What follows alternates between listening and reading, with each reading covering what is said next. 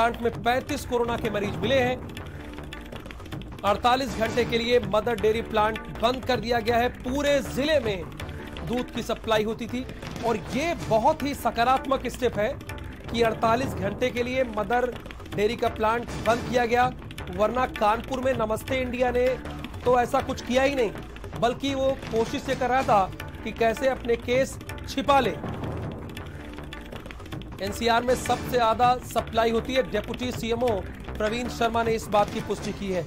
Mother dairy plant फ़िलहाल 48 घंटे के लिए बंद किया गया है।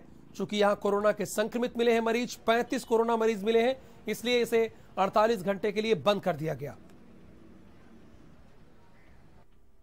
हापुड़ का पिलखुआ में ये मदर डेयरी का प्लांट है। यहाँ कल एक सौ अठहत्तर लोगों की चेकिंग हुई थी, जिसमें 35 लोग कोरोना पॉजिटिव निकले हैं। इस प्लांट में 800 कर्मचारी काम करते हैं। अभी उनकी चेकिंग होनी बाकी है। इस प्लांट से लाखों लीटर दूध दिल्ली और एनसीआर क्षेत्र में सप्लाई किया जाता है।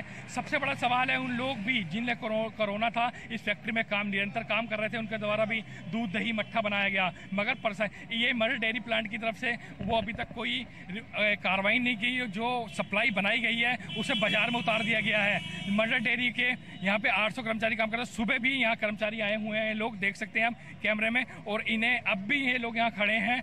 कोई मदर डेयरी की तरफ़ से इन्हें नहीं बताया गया। प्लांट बंद है। हापुड़ प्रशासन ने 48 घंटे के लिए इस प्लांट को बंद कर दिया गया है। तेजेंद्र पाल सिंह, भारत समाचार, हापुड़। और तेजेंद्र इस वक्त हमारे साथ फ़ोन लाइन पे भी हैं। तेजेंद्र, क्या खबर है? कितने लोग संक्रमित पाए गए? ये तो आंकड़ा आपने बता दिया। तकरीबन 35 लोग हैं। लेकिन आप ये भी कह रहे हैं कि जो उन लोगों ने काम किया, जो माल बनाया उन लोगों ने, वो पैकेट सब बाज़ार में है।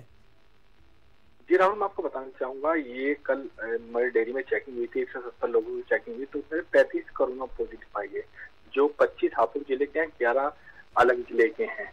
और सबसे बड़ी बात है यहाँ पाँच से सात लीटर दूध बनाया जाता है। मट्ठे की और, और दही बहुत बड़ी सप्लाई है जो एनसीएन में चैन में सप्लाई करती है।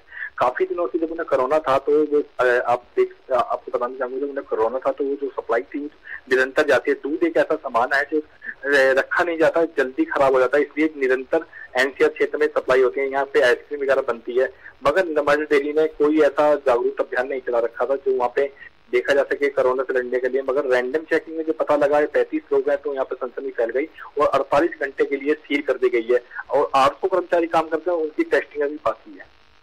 बहुत शुक्रिया इस जानकारी के लिए। तेजेंद्र, यानी तेजेंद्र ने बताया कि 48 घंटे के लिए मदर डेयरी के प्लांट को फ़िलहाल बंद कर दिया गया है। हापुड़ में वाराणसी में देर रात कोरोना से